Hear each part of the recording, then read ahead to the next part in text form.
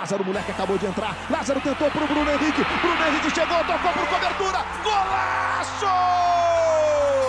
Ele é tricampeão carioca, campeão da Libertadores, bicampeão brasileiro, bicampeão da Supercopa do Brasil e campeão da Recopa Sul-Americana. Bruno Henrique se tornou um dos principais jogadores do Flamengo, só que infelizmente após grave lesão, o jogador sofre um grande risco na sua carreira.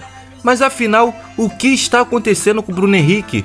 Por que fazer mais uma cirurgia no joelho? Então fica tranquilo que eu vou te contar tudo antes. Se você é novo por aqui, já aproveita para se inscrever agora no nosso canal, tá beleza? Depois de Bruno Henrique ter passado pelo Uberlândia, Tubiara, Goiás e Augsburgo da Alemanha, o velocista chegou ao Santos onde ganhou destaque até chegar ao Flamengo em 2019. Caindo nas graças do torcedor flamenguista, Bruno Henrique meio que cravou a sua titularidade na ponta esquerda e muitos não conseguiriam ver o Flamengo mais ser o jogador. Só que infelizmente no dia 15 de junho, Bruno Henrique sofreu uma grave lesão contra o Cuiabá.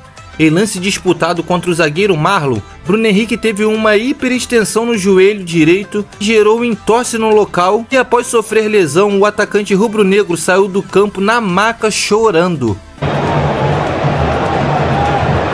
Por conta do intenso derrame articular e processo inflamatório, Bruno Henrique passou por exame e uma semana depois fez procedimento cirúrgico para reconstrução do ligamento cruzado anterior, do ligamento colateral lateral e do canto posterolateral, com previsão de 10 a 12 meses fora do gramado. Só que depois de um pouco tempo de recuperação, veio uma notícia que Bruno Henrique precisaria passar por nova cirurgia, o médico do Flamengo deu a entender que essa segunda cirurgia já era meio que prevista, mas a verdade é que Bruno Henrique pode nunca mais voltar a ser o mesmo jogador. Depois da publicação, o ex-jogador do Flamengo Ederson apareceu para fazer críticas direcionadas ao departamento médico do clube.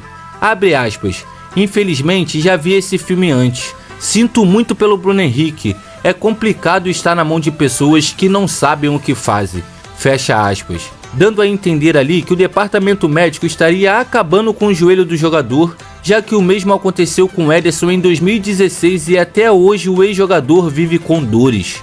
Muito triste a situação, o momento que o jogador Bruno Henrique vem vivendo, mas a cirurgia correu tudo certo e o tempo de recuperação continua o mesmo. Fato é que até o momento não se sabe se era realmente necessário ou se aconteceu apenas um erro ou algo do tipo.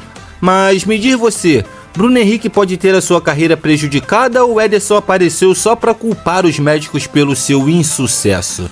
Esse foi o nosso vídeo de hoje, eu espero que vocês tenham gostado. Não se esqueçam de se inscrever aqui no nosso canal e deixar seu like, é claro. Até amanhã, obrigado.